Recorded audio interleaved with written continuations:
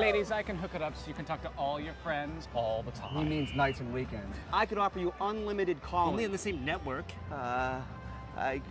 So which one of us are you gonna go with? Chad. He's with Alltel, where I can call friends on any network, anytime, for as long as I want. And unlike your plans, his is really unlimited. Chad! Oh, could this date get any worse?